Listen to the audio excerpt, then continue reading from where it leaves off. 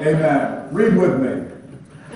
It promises that by these ye might be partakers of the divine nature, having escaped the corruption that is in the world through lust.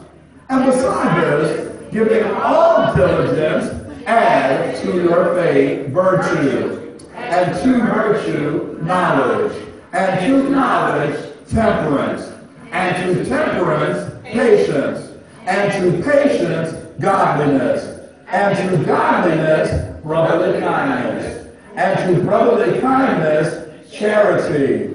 For if these things be in you and abound, they make that ye shall neither be barren nor unfruitful in the knowledge of our Lord Jesus Christ.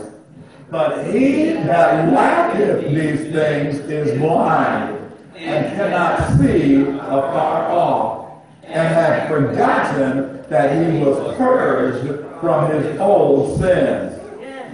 Wherefore the rather, brethren, give diligence to make your calling and election sure. For if ye do these things, ye shall never fall.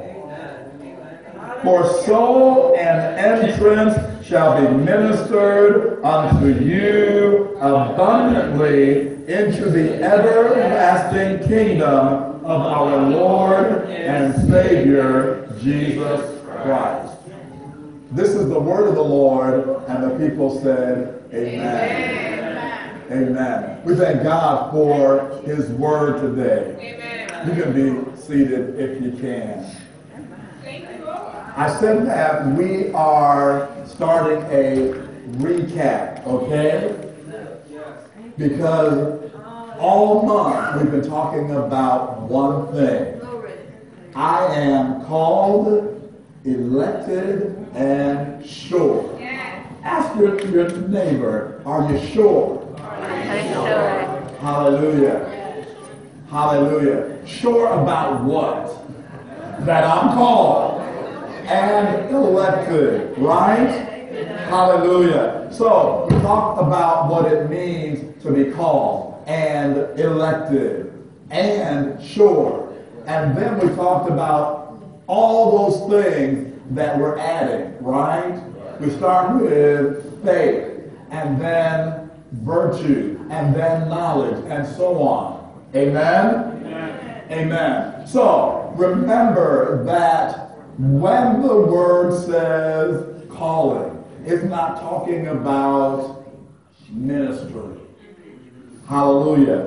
We said that the call is God's invitation to salvation. Hallelujah. Hallelujah. So that means that everybody is called. Hallelujah. Tell your neighbor, you are already called. You are already called. Hallelujah. Well,